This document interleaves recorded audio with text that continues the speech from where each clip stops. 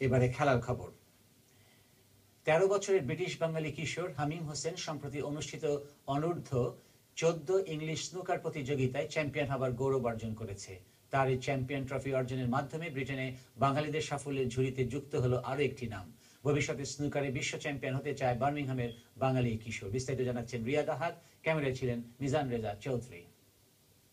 বার্মিংহামের মাত্র তেরো বছর বয়সের বাঙালি এই ক্ষুদে তারকা সম্প্রতি ছিনিয়ে এনেছে অনূর্ধ্ব চোদ্দ ব্রিটিশ স্নোকার চ্যাম্পিয়ন হবার গৌরব। আর এই গৌরবের ভাগিদার করেছে ব্রিটেনের সমস্ত বাঙালি কমিউনিটিকে।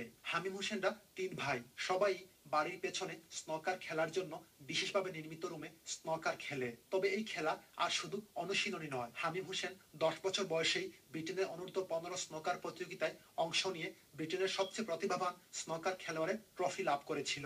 আর এখন চ্যাম্পিয়ন হলো অনূর্ধ্ব চোদ্দ ব্রিটিশ স্নোকার প্রতিযোগিতায়। I'm very proud of being England champion and I'm very thankful to my coach, Andrew Harfield, and my parents for getting me the facilities of a star table and uh, hopefully people can pray for me so I can world champion in the future.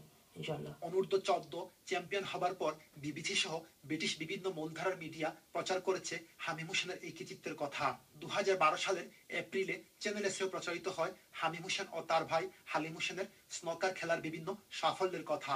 আমি বেশি খুশি আমার আহ, ছেলেদের champion হয়েছে বা in future আমি চাই না ওয়ার্ল্ড চ্যাম্পিয়ন হইতে। আপনারা সব দোয়া করব আমার ছেলের লাগে আমি বাঙালি হিসাবে এক্সট্রিমলি প্রাউড দ্যাট এক তো আজটা দেশের খেলা এটা ইংল্যান্ডের খেলা ইংল্যান্ডের চ্যাম্পিয়নশিপ আর তার বয়স অনলি থার্টিন আমি মনে করি যে আমরা কমিউনিটি আমরা Bangladeshi not only trying to make our kids a doctor or engineer what whatever, আমি ওখানে করি যে স্পোর্টসও আমরা ধ্যান দরকার। হামিম হোসেন ভবিষ্যতে স্নকারে বিশ্ব চ্যাম্পিয়ন হতে চায় আর তার এই বিশ্ব চ্যাম্পিয়ন হবার আকাঙ্ক্ষাকে উৎসাহিত করতে রোববার বার্মিংহামে তাকে দেওয়া হচ্ছে এক সংবর্ধনা, যেখানে প্রধান অতিথি হিসাবে বার্মিংহামের lord mayor councillor Shafiq Shah ছাড়াও কমিউনিটির বিভিন্ন নেতৃবৃন্দ যোগ দেবেন।